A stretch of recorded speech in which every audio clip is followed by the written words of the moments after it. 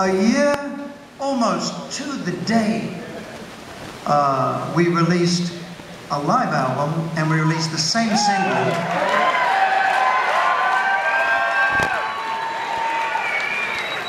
And this is what happened.